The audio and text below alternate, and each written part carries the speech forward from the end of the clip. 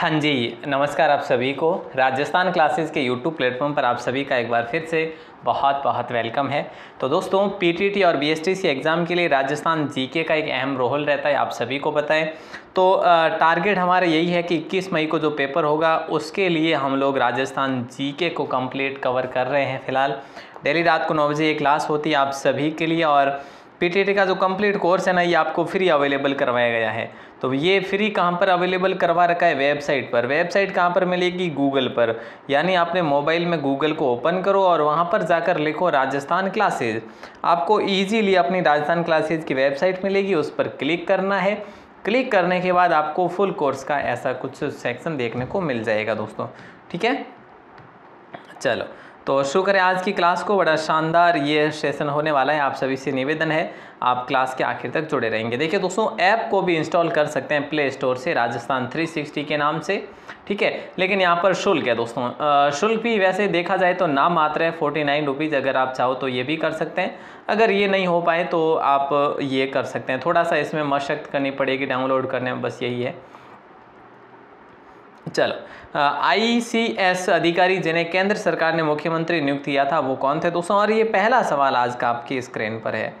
तो यहाँ पे आप सभी का राइट आंसर हो जाएगा option B C S Venkatacharya. यानी कि ये जो है, इनको उन्नीस में बनाया था। ठीक है, जनवरी से लेकर अप्रैल तक रहे थे। जनवरी से अप्रैल तक ये रहे थे मुख्यमंत्री। दोस्तों, याद रखना, प्रथम गैर राजस्थानी थे और दूसरे गैर राजस्थानी कौन थे? शिवचरण माथुर थे। अगला सवाल सवाल है कि अहेड़ा अजमेर सुखपुरा, टोंक किसके लिए प्रसिद्ध है? इनमें से कौन सा जो ऑप्शन है वो सटीक बैठेगा? तो ऑप्शन जो बी है, आप सभी का सही आंसर हो जाएगा ऑप्शन बी गुप्तकालीन सिक्कों के भंडार यहाँ पर देखने को मिले हैं। समुद्रगुप्त और चंद्रगुप्त कालीन यहाँ पर लगभग 48 सिक्के जो है प्राप्त हुए हैं दोस्तों। ठीक है? अगला सवाल है कि इनमें से किस माता का मंदिर रत्नागिरी पहाड़ी पर बना हुआ है? इनमें से किस माता का मंदिर जो है रत्नागिरी पहाड़ी पर बना हुआ है? तो दोस्तों, सावित्री माता का जो मंदिर है, वो रत्नागिरी पहाड़ी पर बना हुआ है। सावित्री माता का जो कहाँ पर है? पुष्कर में है। और पुष्कर आपके कहाँ पर पड़ता है? ये अजमेर में पड़ता है। तीर्थों का जिसे हम लोग मामा भी कहते हैं। ठीक है? अगला सवाल है कि या फिर आप इसको पांचवा तीर्थ भी कह सकते हैं। अगला सवाल है, कांठल का ताजमहल किसे कहा जाता है? दोस्तों तो कांठल का ताजमहल संत अब्दुल्ला पीर मकबरा को नहीं, काका जी पीर की दरगाह को कहा जाता है, यानी ऑप्शन ए, आप सभी का सही जवाब है। और वहीं बात करें कि भाई ये कौन से ज़िले में स्थित है तो प्रतापगढ़ में स्थित है, ऐसा अगर सवाल पूछा जाए ऊपर लेवल से, ठीक है? और मीठे शाह की दरगाह हमारे झालावाड़ में है तो संत अब्दुल्ला पीर का मकबरा जो आपके बांसवाड़ा में है और वहीं ऊषा मंदिर की बात करें, या ऊषा मस्जिद की बात करें तो ये आपके भरतपुर में है। क्लियर है? बिल्कुल अच्छा सवाल है और आगे बढ़ते हैं, अगले सवाल को देखते हैं। अगला सवाल है कि ओपन विल स्टार्क ये पक्षी राजस्थान के किस अभ्यारण्य में आते हैं दोस्तों? ओपन विल स्टार्क ये पक्षी जो है राजस्थान के किस अभ्यारण्य में आते हैं? तो केवला देव घना पक्षी विहार में, या ताल छापर में, या राष्ट्रीय मरु, या जवार सागर केवला देव घना पक्षी विहार में आते हैं। ऑप्शन सी आप सभी का सही जवाब होगा। इसको मानसून का दूध कहा जाता है। ठीक है। अच्छा सवाल ये केवला देव घना पक्षी विहार आपके भरतपुर में है? राजस्थान का सबसे छोटा राष्ट्रीय उद्यान है। ठीक है। राष्ट्रीय उद्यान सबसे छोटा है ये। राज्य का जो कि अट्ठाईस पॉइंट आप यूँ समझिए कि सेवन ज़ीरो समथिंग जो है, वर्ग किलोमीटर में फैला हुआ है। ठीक है। इकती संधा रुपयों से संबंधित सही युग्म कौन सा है? दोस्तों सत्य कथन कौन सा है? यह रुपया कुचमन के टकसाल में बना होने से कुचमन यह कहला है ठीक है। इसको बोपूशाही और बोरसी रुपया भी कहते हैं ये भी ठीक है। इसे शाह आलम सेकंड का इकतीसवां राज्य वर्ष लिखा होने से इकतीस अंदा बिल्कुल सही है। यानी उपयुक्त सभी कथन जो है ना दोस्तों, ये सभी के सभी जो है, ये सही है। ओके, क्लियर है? अगला सवाल देखो। इनमें से बारह ज़िले की परियोजना कौन सी है? इनमें से बारह ज़िले की परियोजना जो है ना दोस्तों, वो कौन सी है? तो उपयुक्त सभी है जो आप सभी का राइट आंसर हो जाएगा। देखो, जैसा कि बात करें तो अटरू शेरगढ़ पेयजल परियोजना बारह में है, नागदा अंता।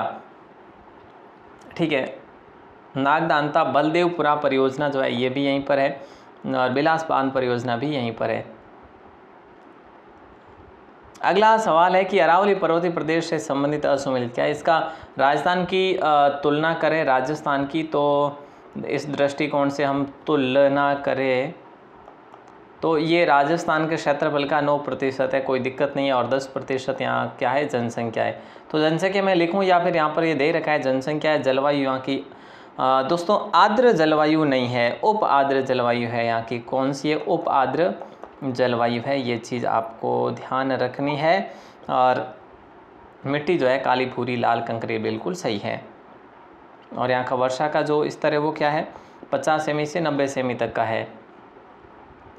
अगला सवाल पूछा जा रहा है कि सुख महल व उम्मीद महल किस ज़िले में स्थित है, बताइए। सुख महल व उम्मीद महल जो है ना, किस ज़िले में स्थित है दोस्तों? ये आपको बताना था। और राइट आंसर आप सभी का हो जाएगा बूंदी में है। सुख महल और उम्मीद महल कहाँ पर है? ये आपके बूंदी में, यानी ऑप्शन बी आप सभी का लॉक हो जाएगा। और यहाँ पर एक राजगढ़ महल बना हुआ है, जिसे बूंदी का महल भी कहा जाता है। बूंदी का राजमहल भी कहा जाता है। ये चीज़ भी आप लोग याद रखेंगे, ध्यान रखेंगे। अच्छा सवाल था। अगला सवाल है, राजस्थान में सशस्त्र क्रांति का जनक जो है ना, ये किन्हें कहा जाता है? वन, फोर, फाइव का सही आंसर जो है वो क्या होगा? गोपाल सिंह खरवा हो जाएगा। गोपाल सिंह खरवा। ऑप्शन डी आप सभी का लॉक हो जाएगी। खरवा के ठाकुर थे दोस्तों, और खरवा क्षेत्र जो है ना, ये आपके अजमेर में पड़ता था।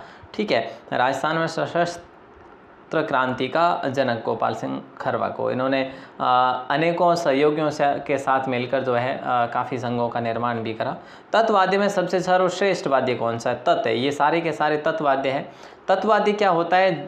वो वाद्य जिनकी तारों को बजाने पर ध्वनि उत्पन्न होती है, जिनकी तारों को खींचने पर या तारों के टकराने पर जो ध्वनि उत्पन्न होती है वो वाले तत्वादि होते हैं। जैसे एक तारा रावण हता तो यहाँ पे सबसे जो महत्वपूर्ण है ना, वो रावण हता को हम कहेंगे दोस्तों। सॉरी रावण हता नहीं होगा? सारंगी होगा, है ना? तत्वाद्य में सबसे सर्वश्रेष्ठ कौन सा है? तो सारंगी है। सारंगी होगा सारंगी होगा। ठीक है, रावण हता कौन प्रयोग करते हैं, दोस्तों आप सभी को बताएँ। बाबू जी के भोपे जैसे, है ना? रामदेव जी के भोपे, ये रावण हते का प्रयोग करते हैं। जंतर का प्रयोग करते हैं देव नारायण जी के भोपे। देव नारायण जी के भोपे जंतर का प्रयोग करते हैं। ठीक है अच्छा सवाल था ये भी आपका, और सारंगी का प्रयोग कौन करते हैं? ये करते हैं लंगा गाय की जो है ना, लंगा, वो इसका प्रयोग करते हैं। अगला सवाल है, किसके कार्यकाल में देश में आपातकाल लागू हुआ? तो दोस्तों, इनमें से किसके कार्यकाल में देश में आपातकालीन, आपातकाल लागू हुआ था? तो यूँ कह सकते हैं हरिदेव जोशी जी जो सरकार बनी थी, हरिदेव जोशी सरकार, उसमें आपातकाल लागू हुआ था, जो कि उन्नीस में हुआ था। दोस्तों सभी को याद होना चाहिए। वैसे, आपको इनमें से पूछा है, अशोक गहलोत के समय हुआ नहीं था वसुंधराजे के समय भी नहीं हुआ था। यही बात है तो आपको एक चुनना था। यूँ तो सबसे पहले जो है ना, वो तो हुआ था अपने, उनके काल में जो सर्वाधिक समय तक रहे थे, सत्रह वर्ष तक के लिए रहे थे, जिनका नाम है मोहनलाल सुखाड़िया, एम एल सुखाड़िया के समय हुआ था, पंद्रह सॉरी, उन्नीस सौ सड़सठ में। ठीक है, क्लियर है सर। अगला सवाल है, निम्नलिखित में से कौन सा युग्म सुमेलित नहीं है? तो ग्यारह संधा जो जयपुर राज्य जारी करता है, यही तो गलत है। ग्यारह संधा दोस्तों, है ना, वो शाह पुराने। और इकतीस संधा जो है इकती संधा जो रुपया है, ये कहाँ से? ये कहाँ से? ज़रूर बताओ, जल्दी से बताओ अभी अभी की ही बात है। कुछ मनी रुपया भी जैसे कहा गया है। ठीक है, बिल्कुल सही है। विंशोपक जो है, चाहमान वंश जारी करता है। शाह आलम भरतपुर राज्य डबू शाही मारवाड़ राज्य, ये ठीक है, ये ठीक है। लेकिन जयपुर राज्य नहीं, ग्यारह संदा, ये शाहपुरा है दोस्तों। याद रखना, बड़ा अच्छा सवाल सवाल था ये आपका। और अगला सवाल है, कल्ला जी से संबंधित निम्न में से गलत क्या है? कल्ला जी से संबंधित निम्नलिखित में से गलत क्या है? इनके पिताजी का नाम अचला जी था। बिल्कुल सही बात है। गुरु इनके भैरवनाथ है। सही बात है। चतुर्भुज का इनको स्वरूप कहा जाता है। चतुर्भुज यानी कि चार हाथों वाले देवता। चार हाथों वाले वाले देवता के नाम से भी इनको जाना जाता। वाले देवता के नाम से भी इनको जाना जाता है। ठीक है? और जन्म इनका मेवाड़ में नहीं बल्कि सामियाना गाँव में हुआ था और सामियाना गाँव उस समय मारवाड़ रियासत में हुआ करता था। कौन सी रियासत में? मारवाड़ रियासत में। तो अच्छा सवाल है और अगला सवाल देखिए निम्न में से असुमेलित क्या है? हम्म। खानों के युद्ध पंद्रह में हुआ था बिल्कुल सही बात है। आ, मार्च महीने में हुआ था। बाड़ी का युद्ध 1519 में हुआ था जो बाड़ी धौलपुर में है, खानवा आपके भरतपुर में है दोस्तों, ठीक है? और बयाना बयाना कहाँ पर है? ये भी भरतपुर में ही है। तो यहाँ पे राइट आंसर हो जाएगा आपका, इनमें से कोई नहीं, ठीक है? अच्छा सवाल है। खानवा में राणा सांगा और बाबर के मध्य हुआ था, जो बाबर इसमें जीते थे बाड़ी के युद्ध में। इब्राहिम लोदी को हराया था सांगा ने, बयाना में बाबर को हराया था सांगा ने। अगला सवाल आपकी स्क्रीन पर है कि निम्न में से सही युग्म कौन सा नहीं है? अमृता देवी, कृष्ण मृग जो है ना, ये जोधपुर में है, बिल्कुल सही है ये वाला। अशोक विहार मृगवन, ये जयपुर में, ये भी सही है दोस्तों। संजय उद्यान मृगवन, ये उदयपुर में है।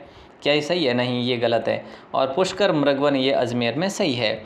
लेकिन ऑप्शन सी में कहीं ना कहीं हमें गड़बड़ लग रहा है, क्योंकि ये अपना जो संजय उद्यान है ना, ये भी जयपुर में है। ये यहाँ पर नहीं है, यानी कि उदयपुर में नहीं है दोस्तों, ये भी जयपुर में है। अगला सवाल है कि निम्न में से सही विकल्प नहीं है। निम्नलिखित में से सही विकल्प नहीं है। लोक देवी स्थान, लोक देवी स्थान, चामुंडा माता का मंदिर अजमेर में दोस्तों है कि नहीं है? बिल्कुल है। है ना? सीता माता का अभ्यारण्य जो है ना, ये प्रतापगढ़ दे रखा है। तो ये ठीक बात है। और छींस माता का जो मंदिर है ना, ये आपके जयपुर में नहीं है। गायत्री माता अजमेर सही है तो दोस्तों, जयपुर में एक मंदिर तो ज़रूर है। सर, जयपुर में जो मंदिर है ना, उसका नाम है छींक माता। ठीक है?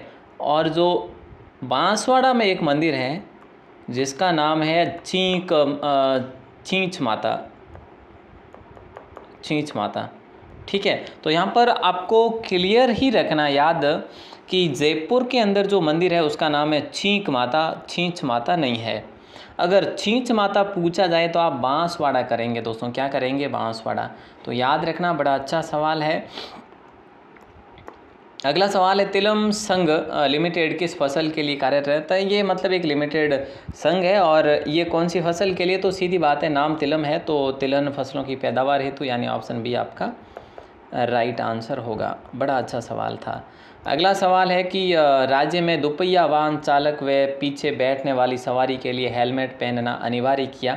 ये दोस्तों कब किया था? वैसे ये सवाल शायद ही पूछा जाए हमारे एग्ज़ाम में तो।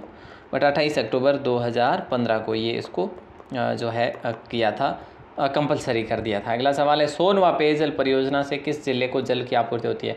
तो सो आप यहाँ पर लिख लीजिएगा, ये इतना इतना कोरा कागज़ है, यूँ ही समझ लीजिएगा। ठीक है?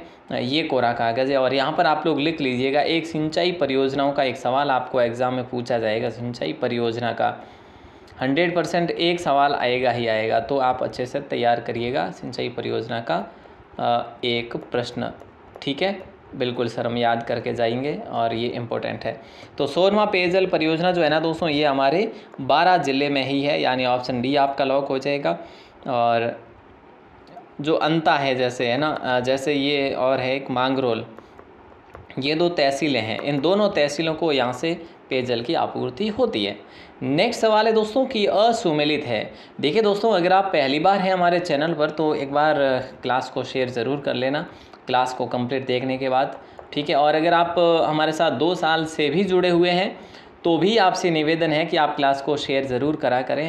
आपके लिए ही है जो ये मेहनत की जा रही है। और जब मेहनत की जाए दोस्तों और क्रेडिट ना मिले तो फिर कहीं ना कहीं जो है मोटिवेशन जो है वो हमारा ख़त्म ही हो जाता है। तो आपसे निवेदन है छोटा सा कि आप हर क्लास को शेयर करके आया करें।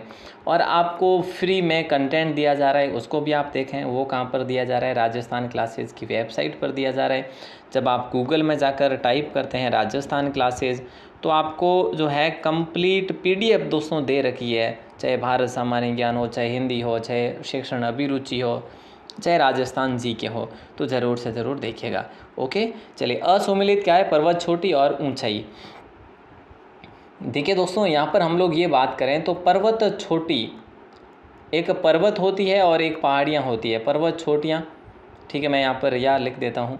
और दूसरा होता है कि पहाड़ियाँ, ठीक है, और एक होता है पठार, ठीक है तो इन तीनों में थोड़ी भिन्नता है। आप सभी को जानकारी होनी चाहिए कि क्या क्या भिन्नता होती है।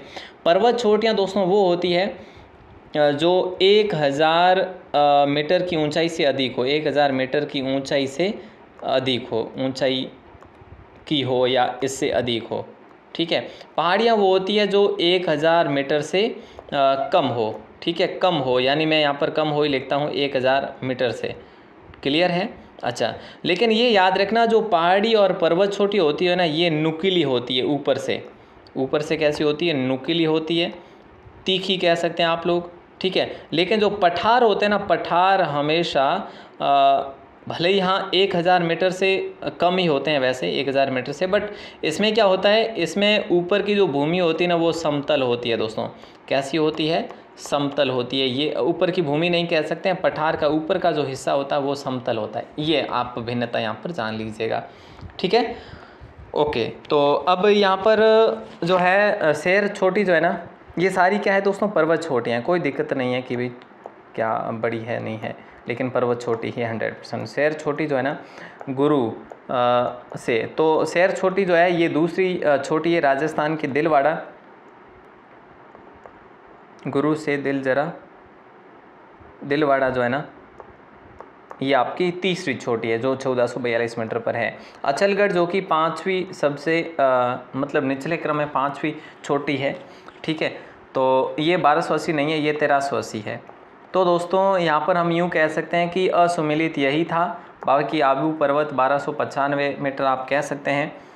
ठीक है? अगला सवाल आपकी स्क्रीन पर है। अगला सवाल है, निम्नलिखित में से सही युग्म नहीं है। संस्थापक और पीठ। संत रामचरण जी रा, शाहपुरा के संस्थापक है, जो कि राम स्नेही संप्रदाय से संबंध रखते हैं। सर्वप्रथम इन्होंने ही यहाँ पर इसकी स्थापना करी थी। संत दरियाव जी रैण के हैं, बिल्कुल सही है दोस्तों। ये चारों जो है ना, संत और चारों जो है ना यहाँ पर पीठें ये किसकी है? राम स्नेही संप्रदाय से संबंधित है, ये चीज़ याद रखिएगा यहाँ से। संत दरियाव जी रैण से है, बिल्कुल ठीक है। संत हरिराम दास जी सिंगथल से है। संत पीपा जी खेड़ापा से नहीं है। खेड़ापा से दोस्तों कौन है? खेड़ापा से कौन है? आप कहेंगे, सर, रामदास जी है खेड़ापा से खेड़ापा से रामदास जी है, याद रखिएगा अच्छा सवाल था आपका। क्लियर है दोस्तों? ठीक है, सर। ओके। तो याद रखने की ट्रिक मैं क्या ही बताऊँ आपको, ये यूँ याद रख लेना कि संत दरिया रामचरण जी तो मुख्य रूप से है ही है, मुख्य, ठीक है? संत दरिया व जी तो रैण, यहाँ पर ण से व को रिलेट कर लो, थोड़ा सा समझो ऐसे, ठीक है? रैण दरिया व जी। संत हरिराम दास जी सिंहथल। सिंहथल नाम बड़ा है दोस्तों, याद रखना, ठीक है? और संत हरिराम दास जी भी नाम बड़ा है तो सिंहथल के साथ हरिराम दास जी को थोड़ा लॉन्ग वर्ड में आपको ऐसे याद रखेंगे। बस थोड़ा सा हमें लॉजिक मिलना चाहिए। यहाँ पर जो है हमारे सिर्फ़ रामदास जी है, रामदास जी। तो रामदास जी शॉर्ट नेम है तो कहीं ना कहीं खेड़ापा आप लोग याद रख ही लेंगे। क्लियर है दोस्तों? निम्न में से असोमेलित क्या है? ढोला मारूरी चौपाई, कुशल लाभ ने लिखा, कोई दिक्कत नहीं। ललित विग्रह सोमदेव ने लिखा। ठीक है? तो एक और है दोस्तों, हरी के लिए नाटक हरिकली नाटक किसने लिखा था? पता है ना सभी को? हरिकली नाटक लिखा था विग्रराज चतुर्थ ने। ठीक है? ओके सर, ये याद रखना है क्या? हाँ। बिहारी सत से ही सूर्यमल मिश्रण लिखा, ठीक बात है। अनागत का स्वागत, आचार्य माप्रक जी ने। ओहो, रुको रुको रुको। बिहारी ससई किसने लिखा था? बिहारी मल ने लिखा था, सूर्यमल ने नहीं लिखा था, वो बिहारी ने ही लिखा था, जिनका नाम था बिहारी मल। दोस्तों, बिहारी मल ही नाम था जिनका, बिहारी सर से लिखा, अनागत का स्वागत आचार्य महाप्रभ जी ने लिखा था। ओके, दोस्तों, ठीक है, आगे बढ़ते हैं। अगला सवाल है कि अगला सवाल है कि उत्तर पश्चिमी मरुस्थल भाग से संबंधित असुमेलित क्या है, जो कि राजस्थान की तुलना हो रही है। यहाँ पे वर्षा यहाँ पे 20 से 50 सेमी होती है, बिल्कुल, लेकिन एवरेज वो सिर्फ़ 25 सेमी ही रहती है यहाँ की वर्षा, ठीक है? जलवायु शुष्क और अत्यधिक विषम है, ठीक है, मुख्य फ़सल बाजरा, मोट, गवार है, मूंग है, ठीक है, मिट्टी यहाँ की लाल दोमट नहीं है, बल्कि बलुई, रेतीली बलुई मिट्टी है। कैसी है? रेतीली बलुई मिट्टी है, दोस्तों, ठीक है? अच्छा सवाल है, और हमने ऑप्शन डी को चुना है। अगला सवाल है कि बादेसर में स्थापित की गई ताप विद्युत परियोजना किस पर आधारित है? बादेसर में स्थापित की गई ताप विद्युत परियोजना, दोस्तों, वैसे भादेसर ही कहाँ पर है? आपको ये पता होना चाहिए सब सर्वप्रथम तो। सर भादेसर है जो ये बाड़मेर में है और ये जो है ना, लिग्नाइट पर आधारित है। लिग्नाइट, दोस्तों, कोयले का प्रकार है और लिग्नाइट पर आधारित है ये।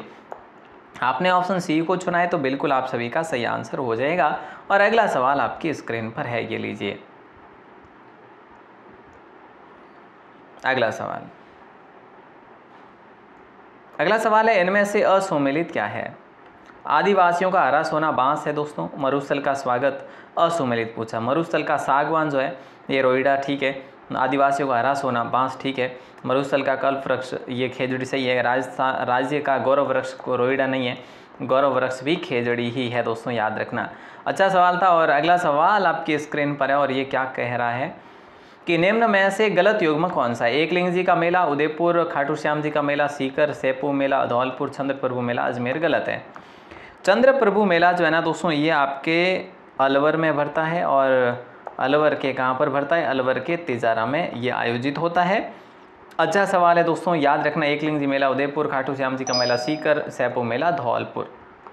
नेक्स्ट सवाल आपकी स्क्रीन पर है। शब्र कद्र मुस्लिम समुदाय का त्यौहार है, किस माह में मनाया जाता है? शब कद्र मुस्लिम समुदाय का त्यौहार है, कौन से माह में मनाया जाता है?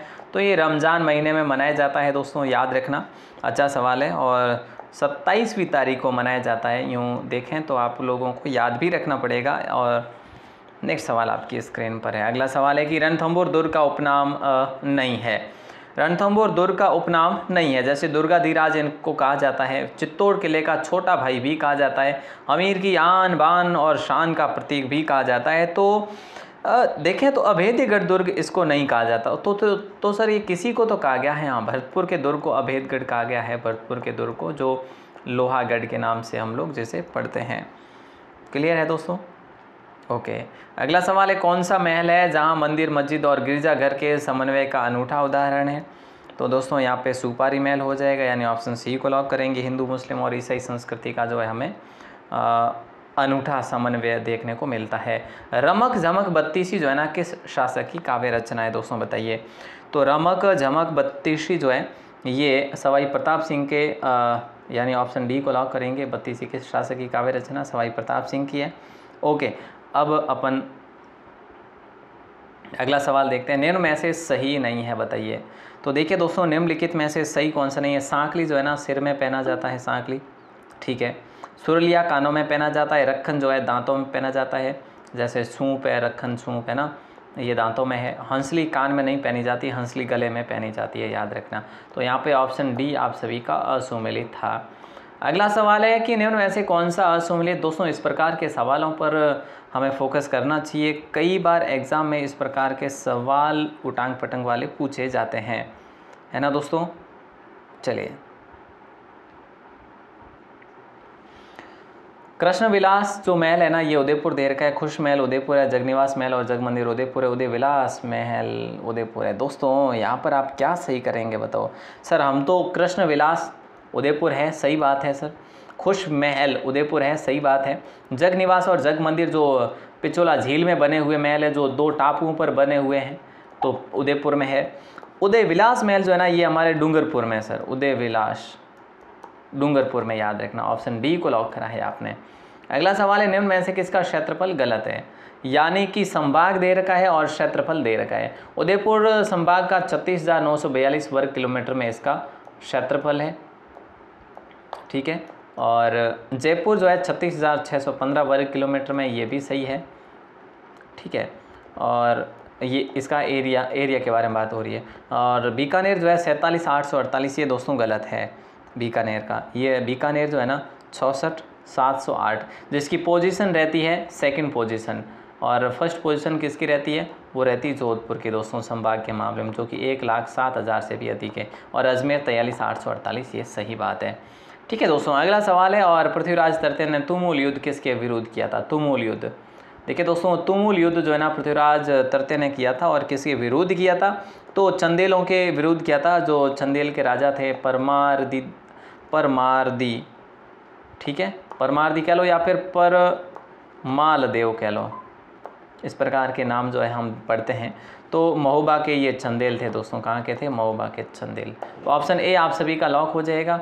और यहाँ पर हम लोग बात करें दोस्तों तो हमारी क्लास आज यहीं पर फिनिश करते हैं। कल जो प्रश्न पूछा था आपसे कि बेड़च नदी का उद्गम स्थल कहाँ से दोस्तों? तो इसका बेड़च नदी का उद्गम स्थल वैसे गोगुंदा की पहाड़ियों से और आंसर लाइव में तो एक भी नहीं आया था। लाइव में आंसर नहीं आया था। तो ये आपका मैंने बाहर के कमेंट सेक्शन से लिया है और बाहर भी दो जने ही कमेंट कर पाए थे। तो वाह वाह क्या बात है बहुत बढ़िया। मतलब कमेंट करने में आपको शर्म की बात महसूस हो रही है तो आ, मेरे ख्याल से पढ़ने में भी होनी चाहिए ना? खैर कोई बात नहीं लेकिन जो भी पढ़ते हैं अगर किसी को जिज्ञासा है कि मुझे पढ़ना है मेरा नाम भी किसी न किसी दिन लिस्ट में रहना चाहिए। अगर आपकी जिज्ञासा होगी ना तभी ऐसा काम बन पाएगा अन्यथा नहीं। मेरे कहने से आप कमेंट करेंगे नहीं, मेरे जिद से आप कुछ करेंगे नहीं। अगर आपके मन में थोड़ा सा भी है तो आप ज़रूर कमेंट करेंगे और जब आप कमेंट करेंगे तो आपको एग्ज़ाम वाले दिन ये याद आएगा कि मैंने कमेंट करा था, पूछा था सवाल और हमने किया था, सही किया था, यही है हंड्रेड परसेंट और नहीं तो कन्फ्यूज़न रहेगा श्योर कह रहा हूँ कि जब आप किसी चीज़ को एक्स्ट्रा देते हैं दो चार मिनट तो वो निश्चित ही आपको याद रहती है है ना? बिल्कुल। चलिए तो ये दो जनों ने कमेंट करा था, हुक्मी चंद और मोहित कोटनिष्ठ। बहुत बहुत शुभकामनाएँ आपको। ऐसे ही एक्टिव रह रहा करें। और आज का जो सवाल है, आज का सवाल है, साबरमती नदी का उद्गम स्थल कौन सी पहाड़ियाँ हैं? आपका मन करे तो लाइव में आंसर ज़रूर देना और आपका मन करे तो बाहर भी ज़रूर देना। जब लाइव की लिस्ट में एक भी ना या नाम नहीं मिलता है तो बाहर से कमेंट उठाए जाते हैं, बाहर कमेंट वाले सेक्शन से। ठीक है, ये आप सभी को जानकारी है, वैसे पहले भी बता चुका हूँ। इसका आंसर ज़रूर देना, अगर पता हो दोस्तों, और प्लीज़ अगर हो सके तो शेयर करा करो यार, है ना? नेटवर्क की प्रॉब्लम है। मैं इस क्लास को दो घंटे पहले रिकॉर्ड करके अपलोड करता हूँ, दो घंटे में बीस मिनट की क्लास अपलोड होती है। तो आप समझ सकते हैं कि कितना समय जो है लगता है, और नेटवर्क यहाँ का कितना वीक है। लाइव आने में भी काफ़ी समस्या होती है। लाइव आ नहीं पाता हूँ मैं तो इसीलिए आपको प्रीमियर लाइव दे रहा हूँ। प्रीमियर लाइव लाइव के लिए भी मुझे दो घंटे पहले रिकॉर्ड करके अपलोड करनी होती है। दो दो, ढाई ढाई घंटा लगता है, बीस मिनट की क्लास अपलोड करने में। तो फिर समझो कि दो घंटे की क्लास करने में कितना टाइम लगता होगा। तो ऐसे में इसमें भी आप लोग शुक्रिया अदा करें। ठीक है दोस्तों, चलिए मिलते हैं अगली क्लास में, तब तक के लिए बहुत बहुत धन्यवाद।